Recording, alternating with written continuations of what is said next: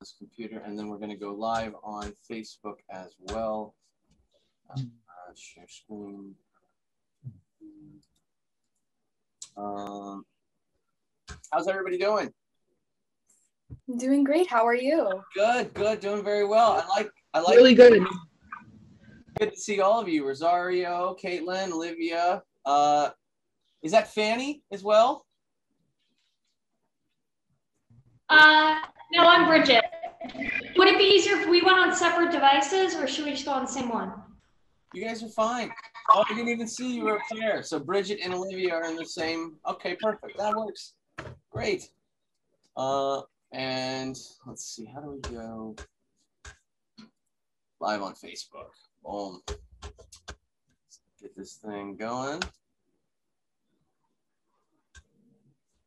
Think that should do it. Can I say something real quick? You can say whatever you want. If it makes it any easier, you could just call me Rosie. I'm okay with Rosie or Rosario. Either one works for me. Rosie, okay, gotcha. And let's see, are we live on Facebook now? Our chat. Okay, perfect. So great. Now we are fully documented. Uh, typically, just so you so you know, uh, I really really appreciate you girls being able to come out and and support Yeah. um, the poetry competition. Uh, a lot of our members come, I think typically, you know, it's like 102 right now. So a lot of people will start showing up, I think, like around 105, 107. It's kind of the New York thing, like 10 minutes late or whatever. Uh, but we can't wait to hear you guys' poems. Uh, Robert Kramer was the actual judge. And uh, did you, I was thinking that maybe, Robert, if you had some sort of um, thought, thoughts on the poems. Actually, I was in the process of moving and did not pay the amount of attention that I, I should have. And I, I, I apologize for that. Uh, but I wanted to thank the students from Mary Louis Academy for persisting during the during the COVID experience uh, when everybody else seemed to give up, or so many schools gave up, and you guys kept kept uh, kept writing. And uh, also, is your teacher here? One of She'll, she'll be joining us. Uh, she'll Ah. be joining us hopefully a little bit later. She said she'll try to make it in like a 135, 140. Hmm. So we'll see. Uh, apparently she's doing classes, you know, as a teacher. But I just wanted to attach a personal note here that I used to go when I, when I was in high school. I used to go to dances at Mary Louis. Uh, I don't know if you still have have dances with other schools together with other schools. you No. Uh, well, anyway, I have happy memories of Mary Louis, and I was hoping my sister would go there, but she chose Dominican Commercial instead. So anyway, thank you guys for participating. Uh, Robert Kramer. Robert Kramer is a old time alum of Xavier High School here in uh, New York City. So the thrill of his year as a young man was to go and meet the young, beautiful women of Mary Louise Academy for the dance that they had. Uh, and he was asking whether or not you guys still have the dances, the or no. We just have prom. Yeah. Yeah.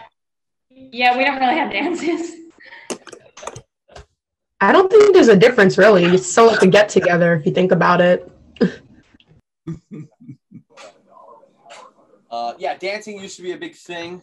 Um, I don't know if maybe on TikTok it's still a, uh, a thing, the dancing. But Roberto, good to see you. Gerald, good to see you.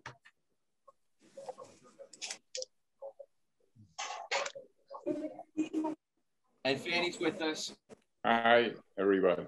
Hi, Roberto. Ro- Roberto is one of the uh, major uh, poetry publishers out of Mexico City. He's joining us today. Uh, are you are you still in Mexico City, or did you make it back to New York? I'm in New York now. Back Yes, to New York. Great, great news. Uh, and Gerald, how is everything? I'm well, thank you. Good, good. You look well. Thank you. All right. So, uh, 105 now. Can you hear me? I'm sorry, can you hear?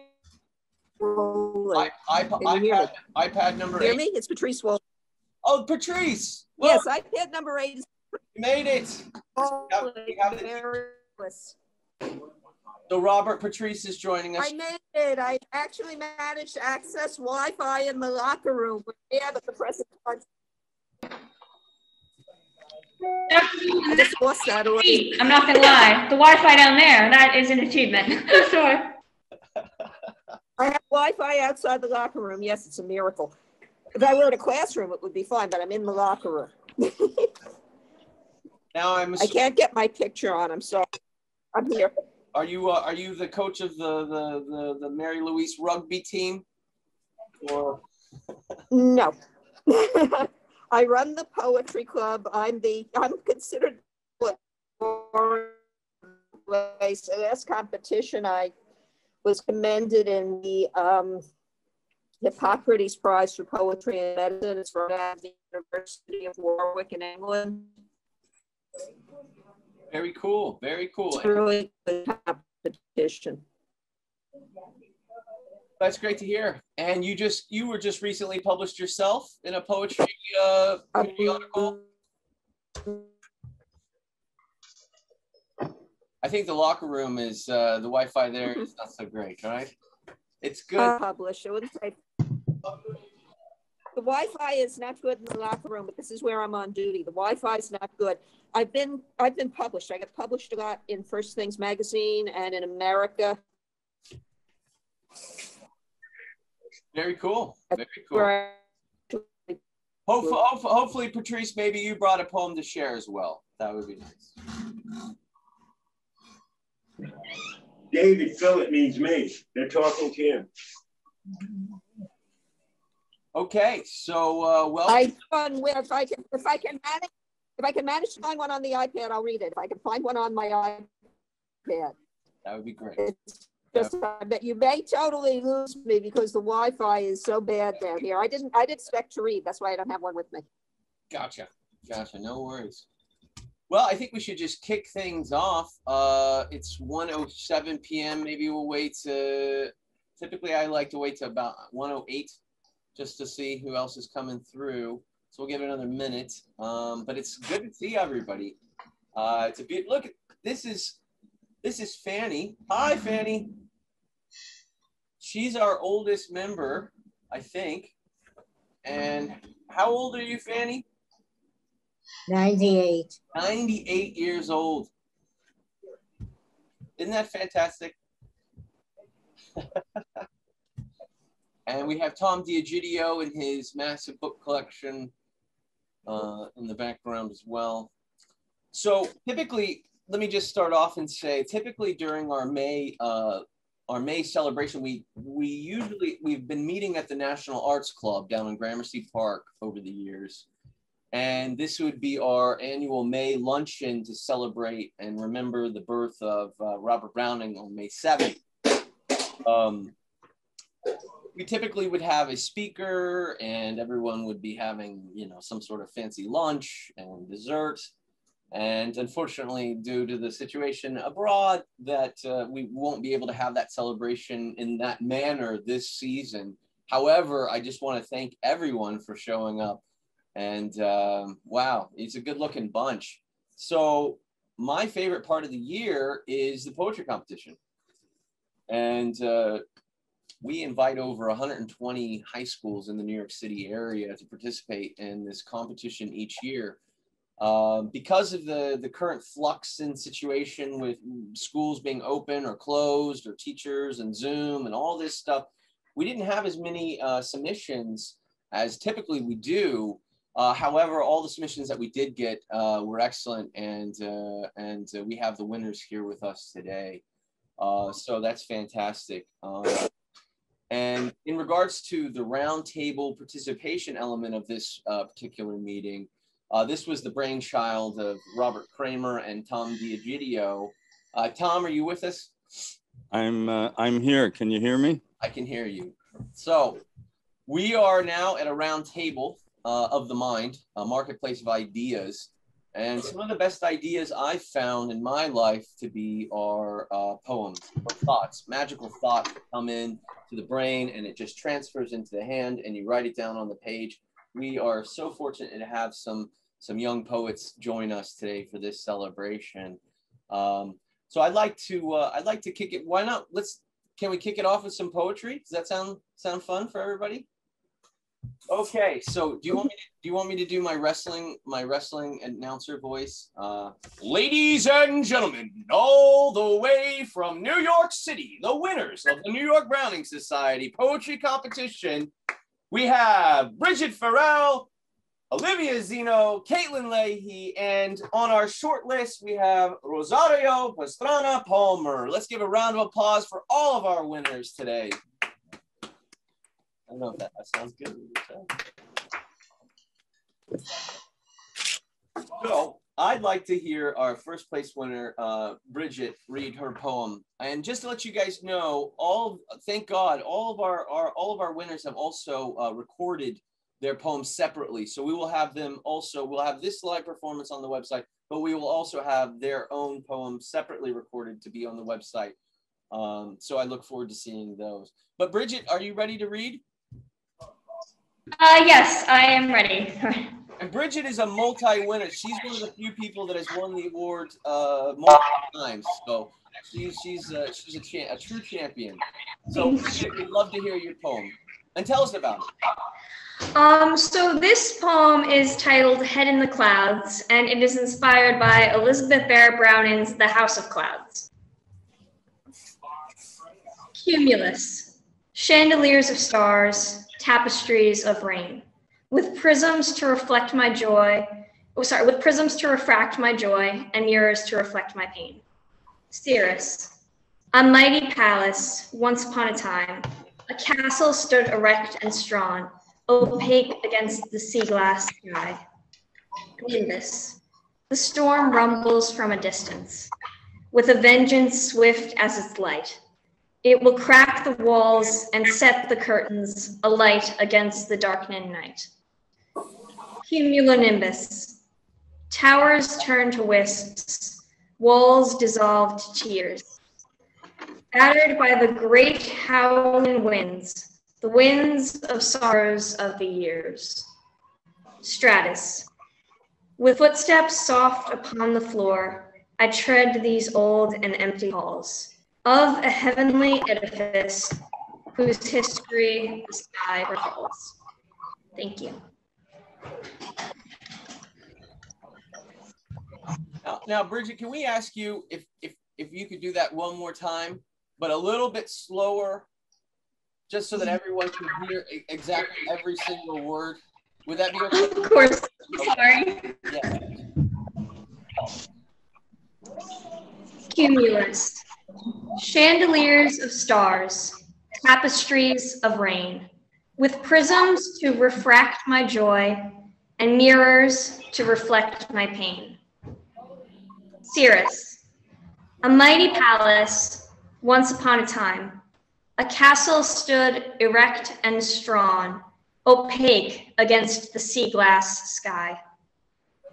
Nimbus, the storm rumbles from a distance, with a vengeance swift as its light. It will crack the walls and set the curtains alight against the darkening night. Cumulonimbus, towers turn to wisps, walls dissolved to tears. Battered by the great howling winds, the winds of sorrows of the years. Stratus. With footsteps soft upon the floor, I tread these old and empty halls of a heavenly edifice whose history the sky recalls. Thank you. That was excellent. Thank you. What was your what was your what was your inspiration for this particular poem, other than the clouds? Um, it when I read uh, Elizabeth's uh, "The House of Clouds," it also reminded me of um, the song "Castle in the Clouds" from Les Mis, which is my favorite musical. So this is sort of like dually inspired.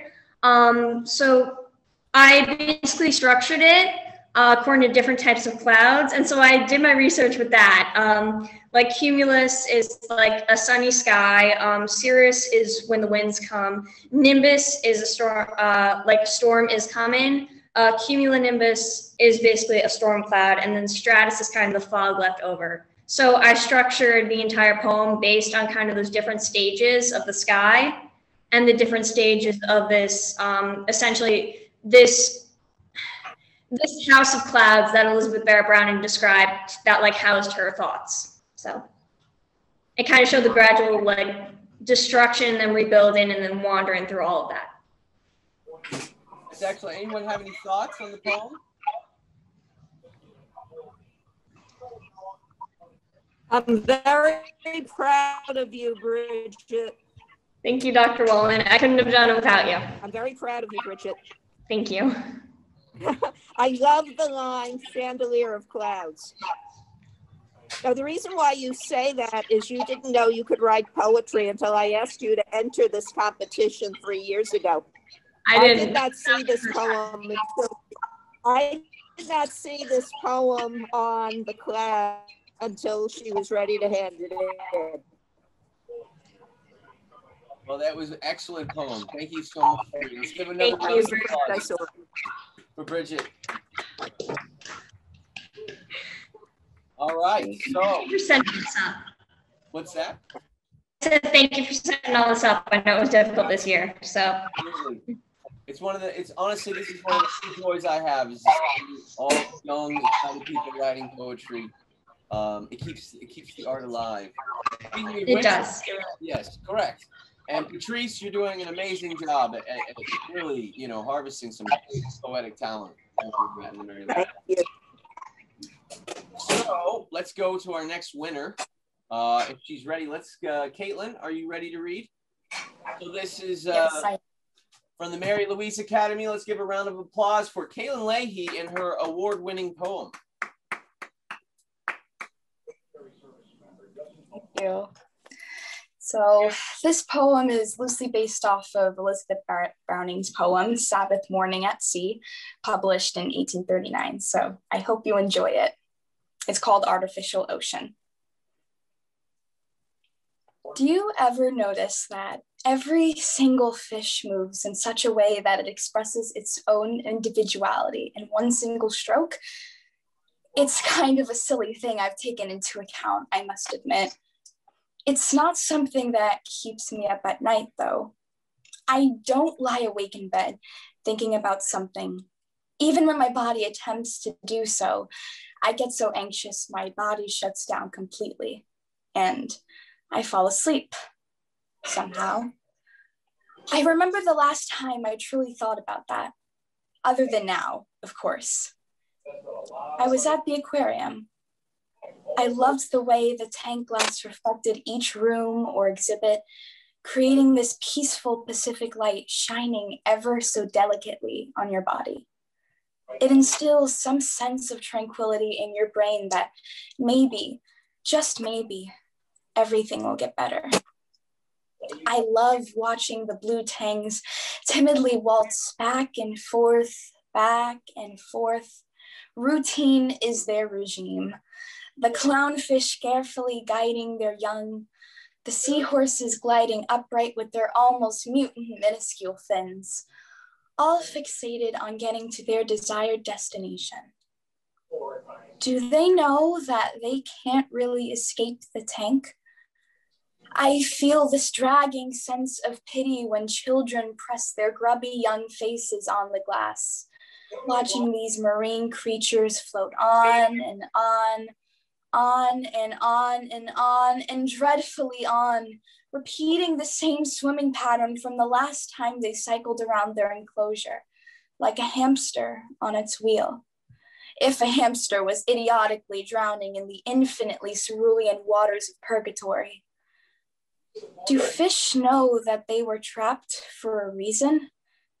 Do they have any idea that they're no more than a vehicle of entertainment for the worst primitive form to ever live on this earth? Do we know that we die, suffer, and weep for the sake of the unknown? Aren't we unknown to all, yet known by many, aren't we? Even still, we shrug our shoulders, rub off our days of sleep and unrest, and float along to the ebbs and flows of the artificial ocean, a mere plaything for some alien life form above. Thank you.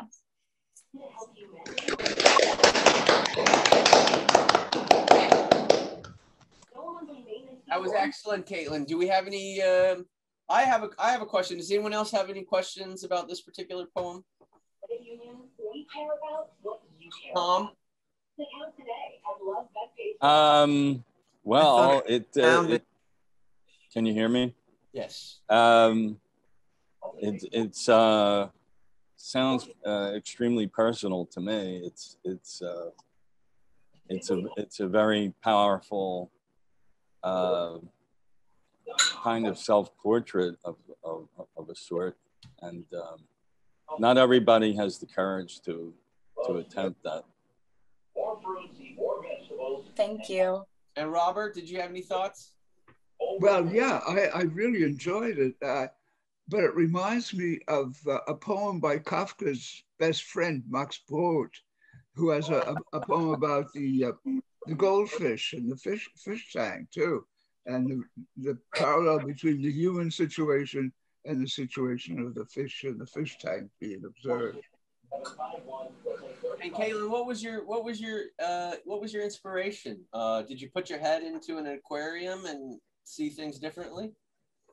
So I remember writing this for my creative writing class. Um, I decided to do some poetry for one of my grades, and I was basically um, inspired by this scene of an aquarium of like in a summer or two ago i went to the new york aquarium um, and it was it's been several years since i've been there. The first time i went there i was three years old uh, and I remember just standing in one exhibit, staring at like the blue tank with all the fish swimming around. And I was very moved by that scene. And that, with a combination of reading Elizabeth Barrett Browning's poem, Sabbath Morning at Sea, that inspired me to tweak the poem a bit. And that's basically what inspired my poem. Well, it was fantastic. Thank you so much, Robert. What would you? What would Oh, I just I just wanted to say that I've been working on a poem about strange fish in the aquarium in those big tanks, and I haven't been able to finish it. And I congratulate you on completing it with quality. So Caitlin, That you- means so so much. Caitlin Thank you. Elizabeth Browning to tweak her version, and now Robert's going to use. Um, Caitlin. I, I also um, wanted to mention that uh, there's an old favorite poem of mine by uh, Sandra Hochman, a New York poet that um, used to be much better known, uh, called "The Goldfish Wife." Uh, if you can find, if you can um, get hold of it, "The Goldfish Wife" by Sandra Hochman, and uh, I think I think she would enjoy she would enjoy that. Thank you. I'll definitely look that up. The Goldfish Wife. And Leslie, what do you think? Are you enjoying the performances? That made me cry. I know I got tears too. Oh, thank you. I thought it was Yeah, hopefully in a good astounding. way. Um, were you talking about a, a a large fish tank like at an aquarium, or were you talking about those that people have in their homes? I was talking about a like a big ginormous tank that you would find in an aquarium. Um, Aquarium. not like not like a fish tank with tiny fish that you would get at Petco. Um, usually it was like a, assorted fish from an aquarium, and I was inspired by that scene when I went to the aquarium a year or two ago. But it could apply to these home fish tanks as well, which th- that's always what I think when when I see them. Um, and um, th- there was a um, at the Central Park Zoo. Oh, it had to have been 10, 15 years ago. There was a um, a famous uh, polar bear it- who is in the same situation. Uh, I've just blanked on his name. That he oh his name was Gus. They actually he he was named Gus, and he became famous because um, he was in a not a tank, but well, yes, a tank with with rocks and everything, and um, he started to swim back and forth the same way every day, all day long, um, not doing anything else. And he was extremely depressed. They found him depressed. So they actually brought in a, a psychologist to work with him and and gave him other activities to do. But but the basic problem was that he was too confined. It, and uh, a few years after he uh, he passed away. And it, it was it made the news and everything um, because we went to see him several times. And it this reminded me of of that as well. And the name of the poem of, uh, did you say, oh, of Elizabeth Browning? Which one was that that I didn't? It's Sabbath Morning at Sea, which was published in 1839. Thank you. And so congratulations. congratulations, Caitlin. And just out of curiosity, I honestly, to be totally honest, I'd like to hear the poem again. Is that so crazy? If we can hear it one more time? Definitely not. I'll read it again gladly. Fantastic. Okay. Do you ever notice that every single fish moves in such a way that it expresses its own individuality in one single stroke? It's kind of a silly thing I take into account, I must admit. It's not something that keeps me up at night, though. I don't lie awake in bed thinking about something. Even when my body even attempts to do so, I get so anxious, my body shuts down completely and I fall asleep somehow. I remember the last time I truly thought about that, other than now, of course. I was at the aquarium. I loved the way the tank glass reflected each room or exhibit, creating this peaceful Pacific light shining ever so delicately on your body it instills some sense of tranquility in your brain that maybe, just maybe, everything will get better. I love watching the blue tangs timidly waltz back and forth, back and forth. Routine is their regime. The clownfish carefully guiding their young, the seahorses gliding upright with their almost mutant minuscule fins all fixated on getting to their desired destination. Do they know that they can't really escape the tank?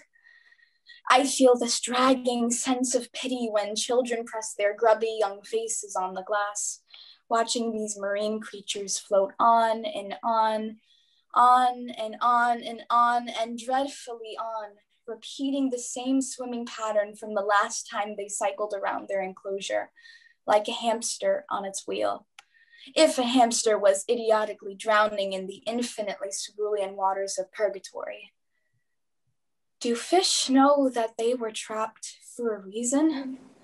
Do they have any idea that they're no more than a vehicle of entertainment for the worst primitive form to ever live on this earth? Do we know that we die, suffer, and weep for the sake of the unknown? Aren't we unknown to all, yet known by many? Aren't we? Even still, we shrug our shoulders, rub off our days of sleep and unrest, and float along to the ebbs and flows of the artificial ocean, a mere plaything for some alien life form above. Thank you again. Thank you.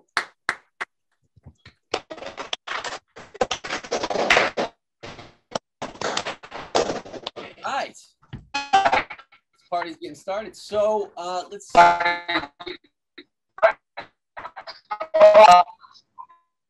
Somebody's coming in from the uh, fishbowl dimension. Uh, I what's funny is I actually have an aquarium, and um, my fish died maybe four weeks ago and it was because they were changing the pipes out in the the road and so the water i refilled the water and the water was bad uh, i had no ah. idea that the water was bad but I filled it, and and and unfortunately, the the fish had to you know ingest that. But my experience with fish, because I like I like fish, is when you buy them and you put them in a bag, right? You put them in a bag with the water and you put them in your back. That must be like the most hallucinogenic experience for for something to, to be put into a bag and then be transported from one place and then all of a sudden they're in this artificial ocean as you as you put it. It's a crazy sort of thing. I i, I love the poem. Thank you so much for sharing caitlin. Thank you for letting me share. now are we ready for some more winners? Let's give it up. Olivia are you are you ready to read a poem share a poem with us? Hi, yes, how are you? Okay great so we have you know Hi. you can breathe better now and we love to hear a poem Sure. So this is my poem, Lover's Promise, inspired. one second we have a problem Olivia just got done with an AP test. well congratulations hopefully you get that college credit you deserve I hope so. Thank you. Um, Well, this is my. The test is over. This is the fun part. All right. The work, the hard work is done. You are a winner. Let's hear the award-winning poem. Thank you. This is my poem, A Lover's Promise, inspired by How Do I Love Thee, Sonnet 43 by Elizabeth Barrett Browning. How do I love thee? Let me count the ways. I love you more than the horrors I loathe the very most. There's no darkness, dragon, or monster that will keep me from your reach. I love how it's always you I talk to before I fall asleep. How you take my small and whimpering voice and make it a lion's boast. I love when you craft sweet memories I long to always keep, and when you whisper that you love me, providing sweet relief.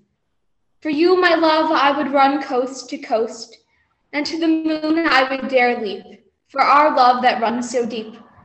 I love the way your love only seems to grow. If you asked me to climb the tallest mountain, I would race up to its peak. And if you wanted me back, I would jump, no matter how steep. I trust your love as much as I trust the waters to flow. Although our love is passionate and there are bounties still to reap, it's impossible to promise that trouble will never come sweeping our love into knots and cause anger to overflow.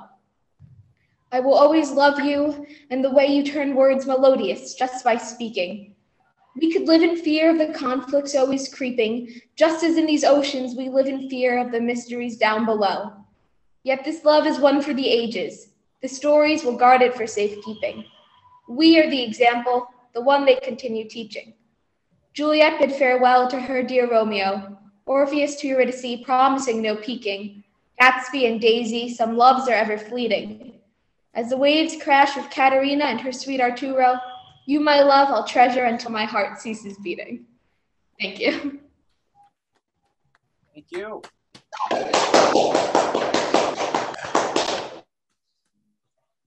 Now, Olivia, is there is there a possibility that we can hear that the the last stanza again slower with actually with all the names? Um, Sorry.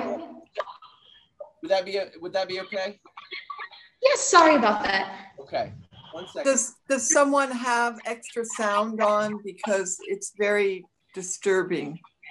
Um, we're in the conference room and it's right next to the gym. That was the only place we could go this period since we were in school. Oh, but I don't think it's that. I think it's a radio or a, a TV or. Hold on. Let me see. Uh, Mr. Robert, your mic is on. Yeah, I think if, if people just turn off their mics, that'll help, except for the speakers. Doing so. me. Uh, Mute, mute your mic. Try to figure out how. there's one outlier, and I think it stops. It was Leslie the whole time, wasn't it? Okay. All right, so Olivia, you you can unmute your mic, and we'd love to hear the the poem again, if that's possible. The whole thing or just the last stanza? I'd like to hear the whole thing. Is that okay? All right, sure.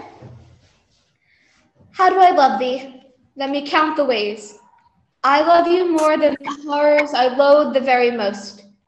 There's no darkness, dragon, or monster that will keep me from your reach. I love how it's always you I talk to before I fall asleep. How you take my small and whimpering voice and make it a lion's boast. I love when you craft sweet memories I long to always keep, and when you whisper that you love me, providing sweet relief. For you, my love, I would run coast to coast, and to the moon I would dare leap, for our love that runs so deep. I love the way your love only seems to grow. If you asked me to climb the tallest mountain, I would race up to its peak, and if you wanted me back, I would jump, no matter how steep. I trust your love as much as I trust the waters to flow. Although our love is passionate and there are bounties still to reap, it's impossible to promise that trouble will never come sweeping our love into knots and cause anger to overflow. I will always love you and the way you turn words melodious just by speaking. We could live in fear of the conflicts always creeping, just as in these oceans we live in fear of the mysteries below. Yet this love is one for the ages. The stories will guard it for safekeeping. We are the example, the one they continue teaching. Juliet bid farewell to her dear Romeo, Orpheus to Eurydice, promising no peeking. Gatsby and Daisy, some loves are ever fleeting. As the waves crash with Katerina and her sweet Arturo, you, my love, I'll treasure until my heart ceases beating. Thank you. Any thoughts or questions? There are there are two lines that following one another that I, I think are especially impressive. Uh, line four, I love how I love how it's always you I talk to before I fall asleep, which is very tender. And then the next line, how you take my small and whimpering voice and make it a lion's boast. And the second line is kind of funny. You take my whimpering vo voice and make it a lion's boast. So you have a, a, bit of humor coming right after the, the touching, especially touching line. I like that. Thank you. Thank Uh, Gerald, did you have a thought? Um, I'm uh, curious, Olivia, um, to understand how you came to this whole process, what was it that sparked the interest and to be able to delve into this? Talk to me a little bit about that. Right. So, um, one of my favorite movies is the movie Overboard. Um, and in the movie, they talk about uh, the story of Katerina and Arturo. And so I had just watched that and it was in my head. And when I was reading through Elizabeth Barrett Browning's poems to figure out what I wanted to do, when I saw this, I knew that I wanted to do a love poem. And once I had the idea for the last stanza, I just kind of built it up from there. Now, is, Over, is Overboard the Kurt, the Kurt Russell? Which I believe so, isn't it? No. Um, who, who, was, who, who was in the, the movie, Olivia? I'm sorry? Who was in the movie Overboard? I think it's Goldie Hawn. I'm sorry, I'm looking on her name. Goldie Hawn. And that's where they met and fell in love, correct? On that movie. Yes. Excellent movie. Excellent movie. And Roberto, do you have any thoughts?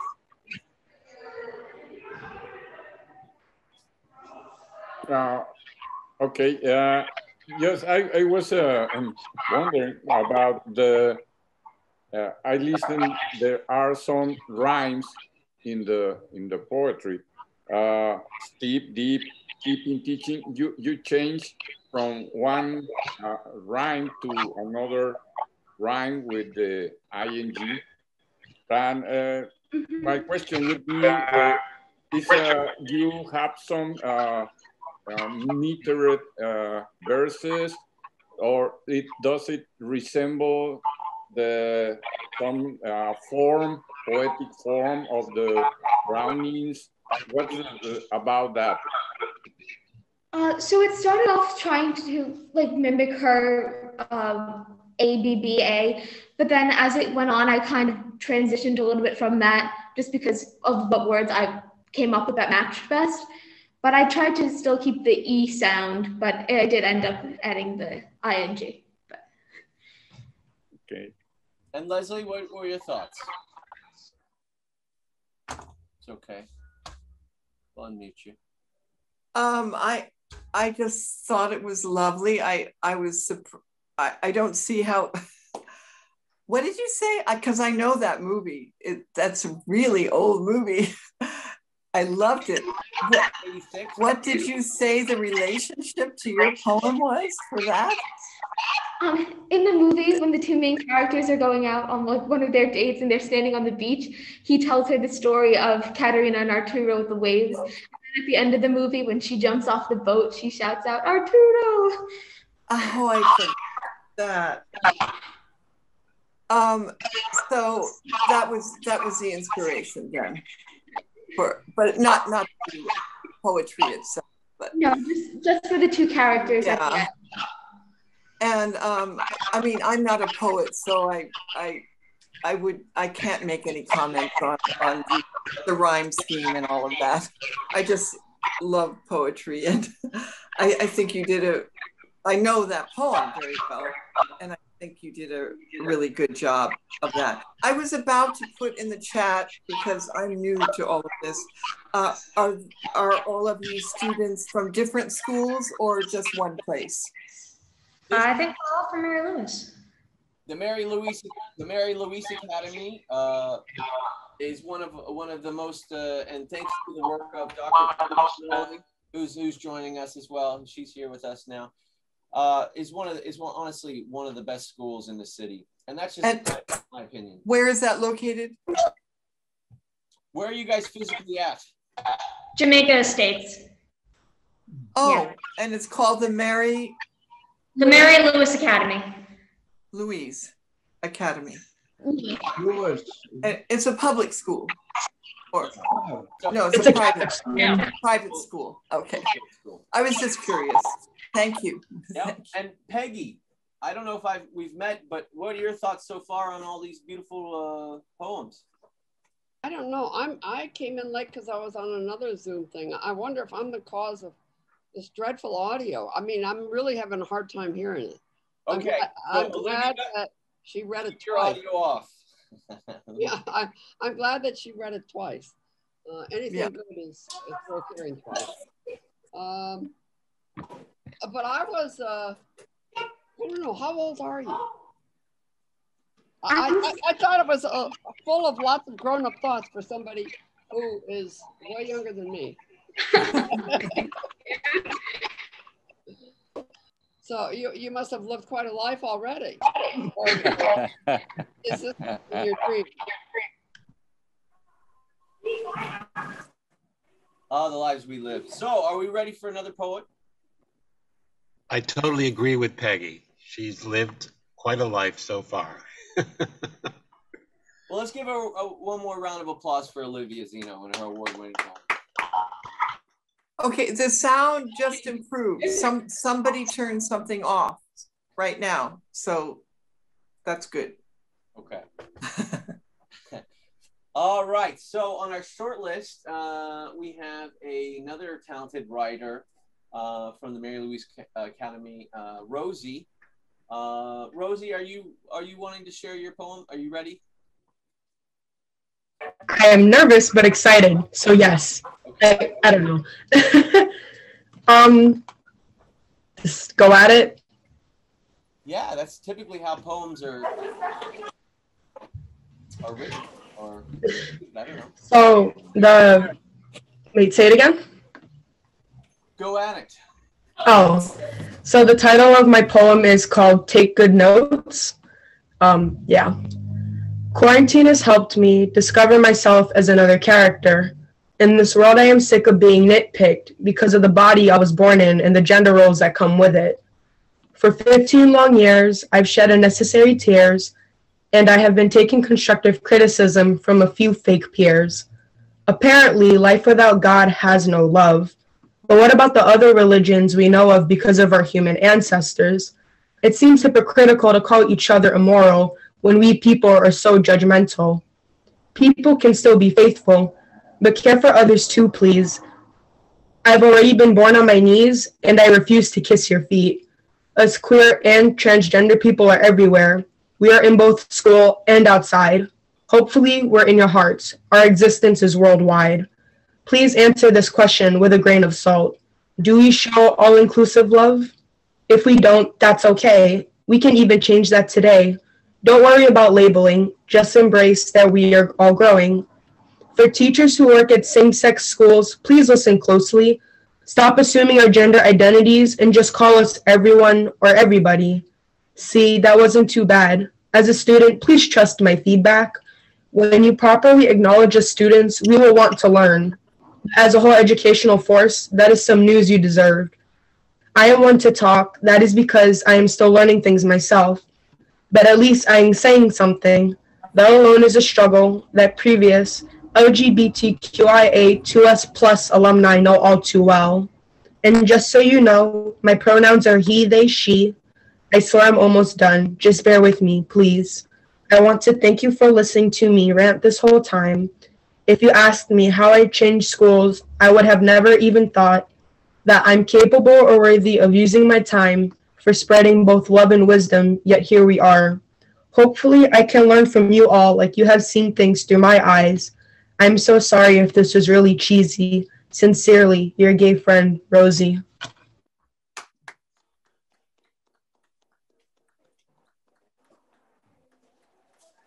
Not so terrible, huh? No. Rosie, can I ask Yeah. you if you can read that poem one more time, but slow it down a little bit? You're not Sure. nervous now, correct? Yeah, Okay. kind of. All right, let's hear it. Quarantine has helped me discover myself as another character.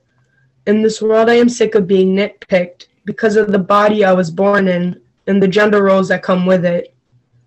For 15 long years, I've shed unnecessary tears, and I have been taking constructive criticism from a few fake peers. Apparently, life without God has no love. But what about the other religions we know of because of our human ancestors? It seems hypocritical to call each other immoral when we people are so judgmental. People can still be faithful, but care for others too, please. I've already been born on my knees, and I refuse to kiss your feet. Us queer and transgender people are everywhere. We are in both school and outside. Hopefully, we're in your hearts. Our existence is worldwide. Please answer this question with a grain of salt. Do we show all inclusive love? If we don't, that's okay. We can even change that today. Don't worry about labeling. Just embrace that we are all growing. For teachers who work at same sex schools, please listen closely. Stop assuming our gender identities and just call us everyone or everybody. See, that wasn't too bad. As a student, please trust my feedback. When you properly acknowledge us students, we will want to learn. But as a whole educational force, that is some news you deserved. I am one to talk. That is because I am still learning things myself. But at least I am saying something. That alone is a struggle that previous LGBTQIA2S plus alumni know all too well. And just so you know, my pronouns are he, they, she. I swear I'm almost done. Just bear with me, please. I want to thank you for listening to me rant this whole time.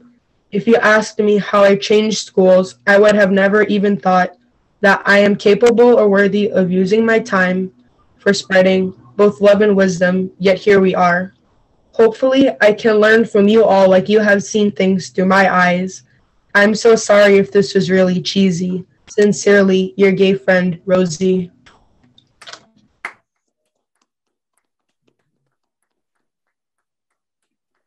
Excellent. Any thoughts, Robert? Uh, yeah, I was wondering if there's a little influence from rap music in your verses here. No, no, I don't listen to that stuff. I just um, no. It's unconventional compared to traditional poetry. And it, it has has a beat, but there doesn't seem to be a concern with the number of syllables. That's that's why I was asking because it's got a freshness and a vitality to it. Oh, I see. Um, no, that wasn't the influence. Jeez, all the cars keep passing my street. I'm so sorry. Um, honestly, when I wrote this, I was like kind of angry. And I, I remember like writing this, like, it had to be maybe either three, not three, two or like 1.30 ish in the morning. I know it's pretty weird hour to stay up, kind of. Um, but yeah, I just remember being kind of angry. I'm like, I need to write this. I kind of want to like call people out, but like, I don't want to be mean about it, but I still think it's important. So I wrote it, and then I heard about this contest. I'm like, oh, let me do this. And originally, I thought the contest was within TMLA. I didn't realize it was like a whole thing within New York. I'm like, oh, that's even better. Let me, let me now I have to do this. So yeah. Good. Uh, so Gerald, what were your thoughts? Uh, Rosario, I applaud you because I um, picked up on three different things. Um, I understood your your anger and your hostility, and it was well channeled. Um, and I understood your longing to be heard and to be seen. And thirdly, you were speaking to authority structures about the need to be open to hearing someone who was not working, who it, the system was not working for, and to be acknowledged. So I all three of those things. Thank you. Absolutely. And Tom, did you did you have any thoughts? Uh, well, the main thought that I had was that um, there's enough material there to uh, for a, a, lifetime of, uh, of poems, and uh, that's a very good that's a very good thing. It's a it's an unusually rich background for someone so young.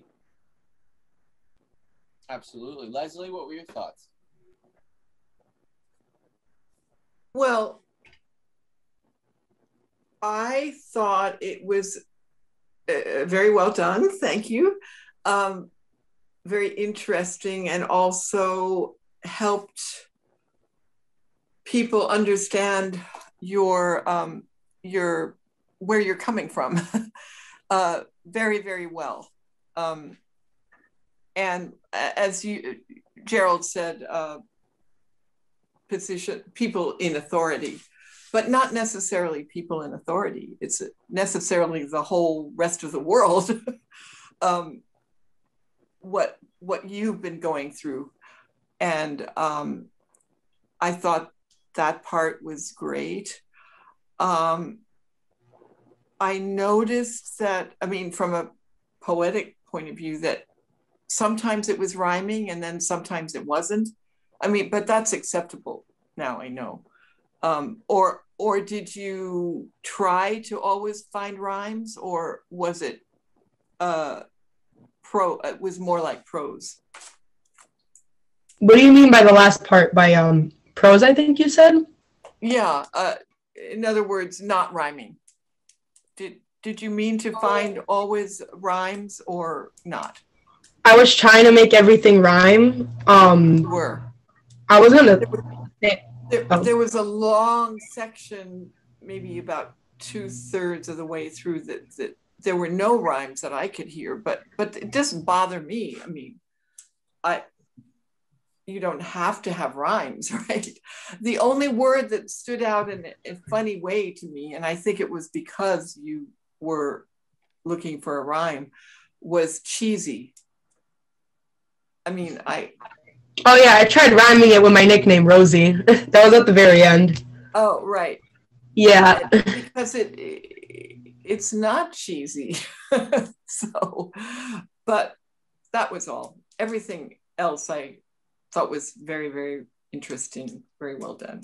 And Thank are you. you student, I, are you a student at the same school? Because that you just said this was a competition for the whole city. It is, Leslie. It is. The oh, I see. Competition is in. We invite over 120 high schools, public, parochial, and private, every year.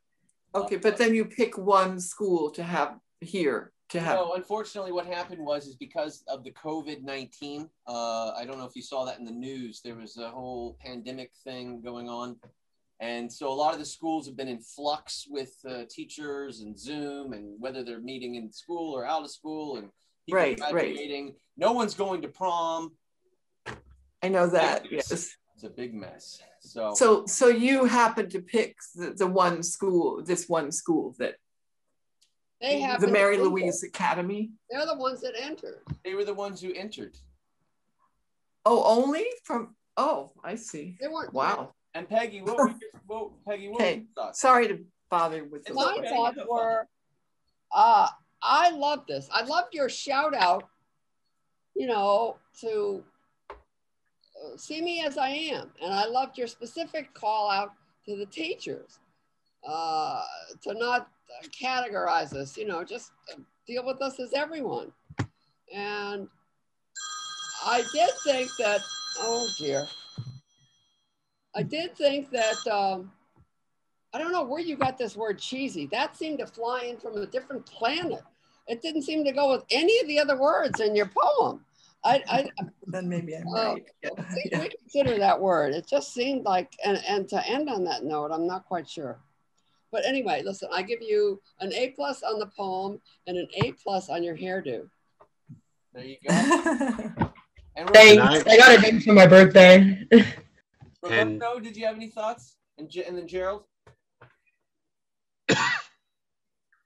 Uh, I would just add, uh, taking off of Peggy, um, that I just felt a real strong identity of uh, Rosario coming through, and it was filled with angst. It was filled with hostility, but it was very palatable, and it wasn't this this you know overwhelming anger and hostility but it, it was very it was very concerted and you were talking to me. So and that's that's a very difficult thing to do when you've when you've got all this uh, very clear uh, uh, angst going on Did I That's what that's what I was trying to say, but I you was wondering articulated a lot better. one Did I mention the rhythm of the piece? There was a certain rhythm to the whole thing that uh, sort of held it all together that I enjoyed. I, I can't I- put my finger on it, but it was definitely there. Thomas? Um, wait, I want to say something. Sure. Rosie? I want to thank Dr. Rowling because um, she told me like other people in um my class and in general. Um, oh my gosh, sorry. I Someone was was trying to call me. Um, yeah, I want to thank Dr. Rowling because like she called me out on how she said there were too many references to TMLA, and she's like, you have to make it more like universal. I'm like, okay, I'm gonna do that. So um, yeah, thank you, Dr. Rowling. Academy is TMLA. Okay, got you. And Bridget, did you have something to say? Oh no, I was just saying Dr. Wilson's here now. Oh, hi. Oh, hey. Good to see you. This is the teacher that makes it all happen. Uh, Patrice Wallen in the right corner. You should be proud of your students. They're a wonderful representation.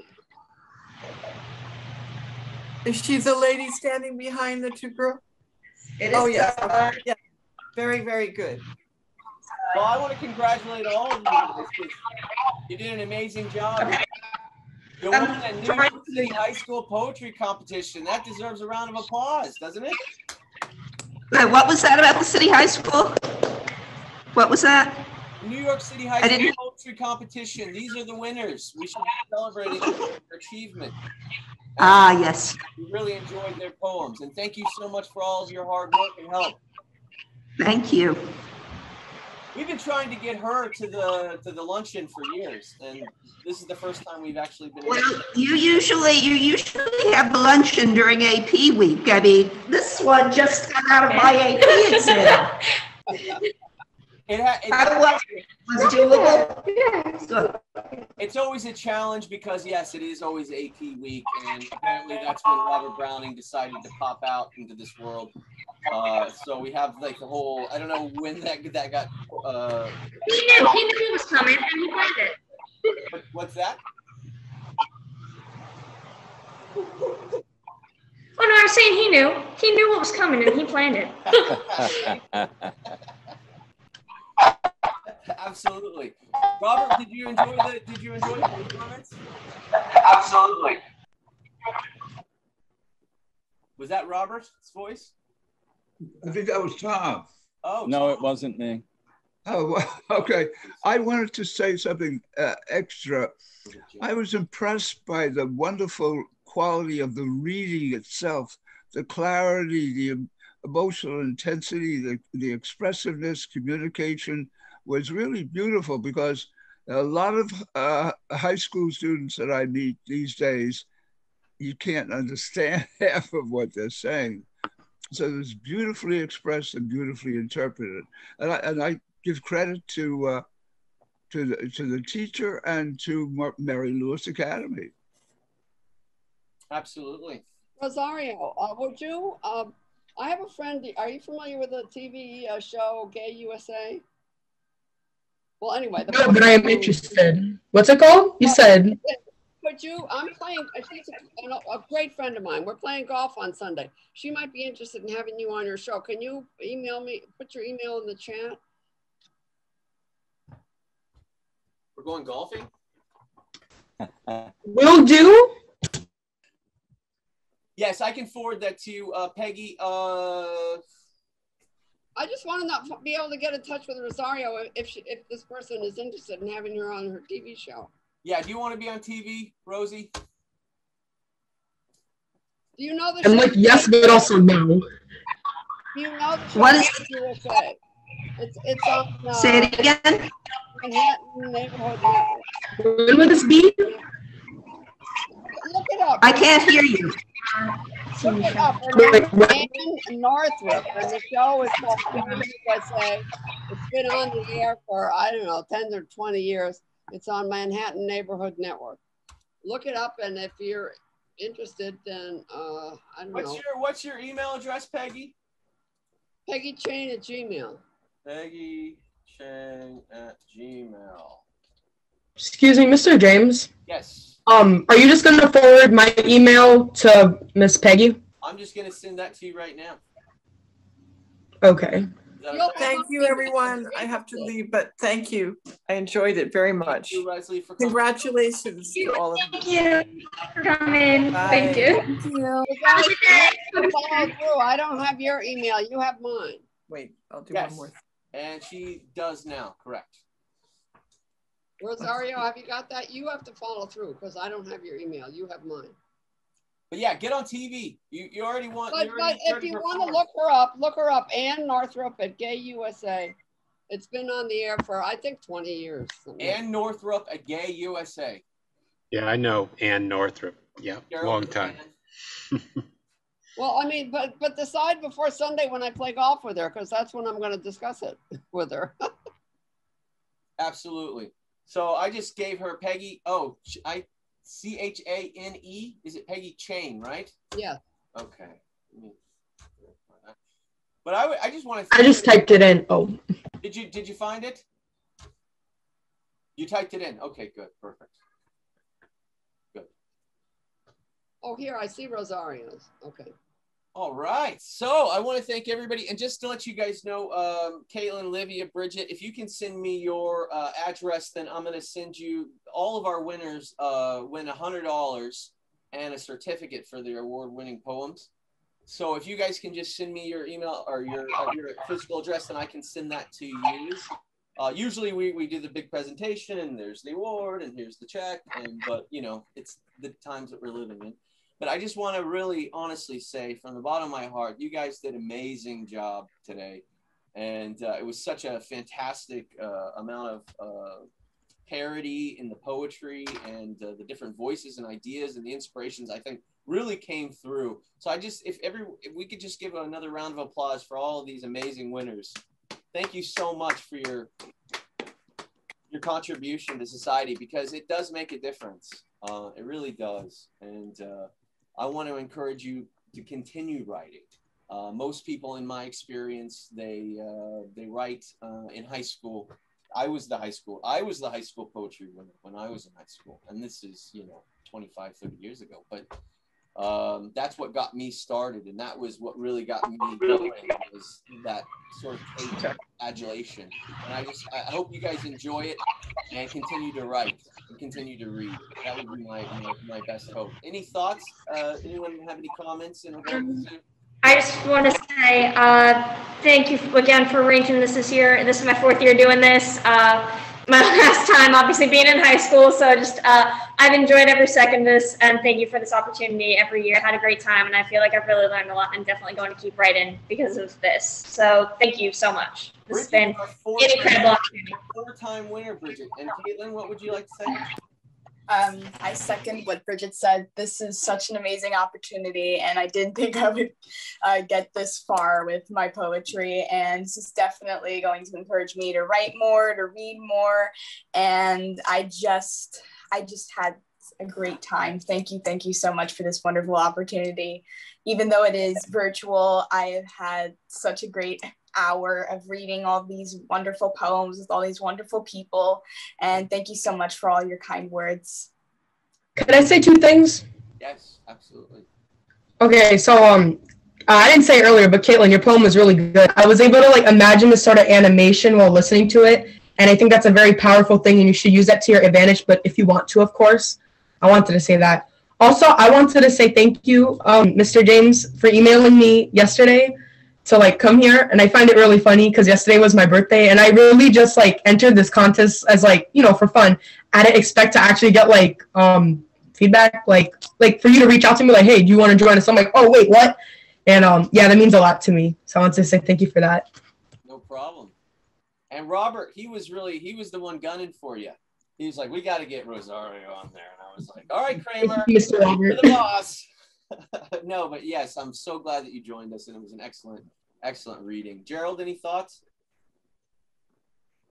Uh, no, I uh, just that each of these poems, uh, my feeling is, and I concur, the the depth of uh, a life lived or an understanding, empathy, and uh, a humanity there. You can't uh, deal with these very complex um, issues and bring it forth in, in your writing of the poetry unless you've re- you have a sensitivity to a life lived at such uh, you know at your young age. So uh, bravo. I'm very impressed and i concur. Uh, these are uh, going to be good communicators good communicators. Absolutely. And Roberto, any thoughts? Okay, uh, this uh, we we have uh, four wonderful uh, voices, four different kinds of writing, uh, uh, poetry, from the intimate, from the rhyme, not rhyme, the evolution, transgender, uh, a lot of, of, of themes. And poetry is well and alive the next generations. Congratulations. Congratulations. Tom your thoughts? I just hope that this is um, the very beginning uh, of a very long uh, career writing uh, writing poetry a life a lifelong dedication to uh, uh, and it i think it's uh, a difficult art and it's a, different a difficult vocation but if you're called to it you can't help but uh, carry on with it. And i certainly hope they all will absolutely and kramer any last thoughts it was a happy day wasn't it bringing us all together here. And, and again, I give credit to the teacher and to the school for keeping poetry alive. Let's give a round of applause for Dr. Patrice Wolin, ladies and gentlemen.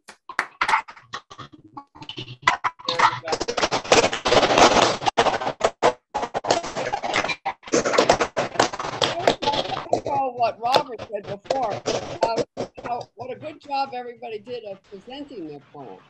And I would encourage them all to record it and put it up online because, uh, you know, get get these good things out in the universe.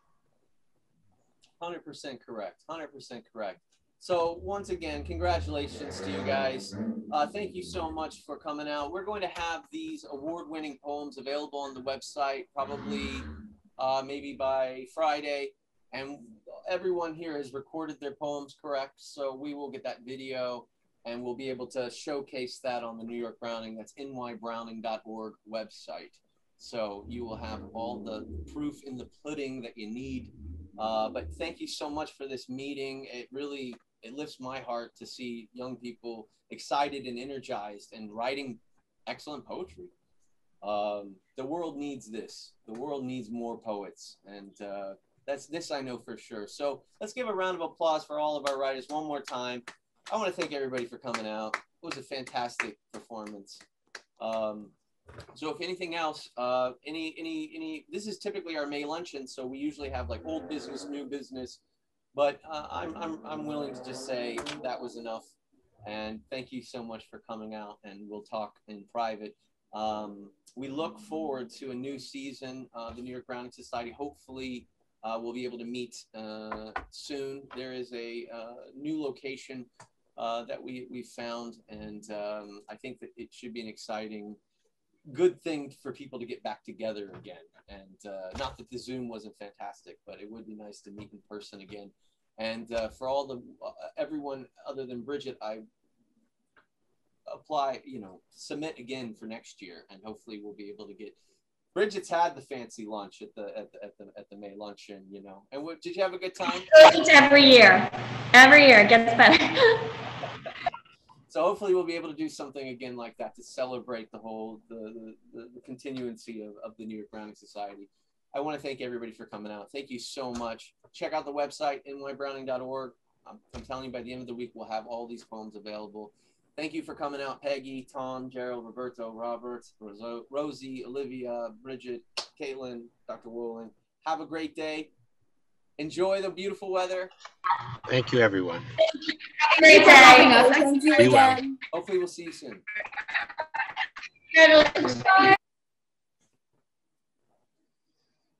All right. So, what do you guys think?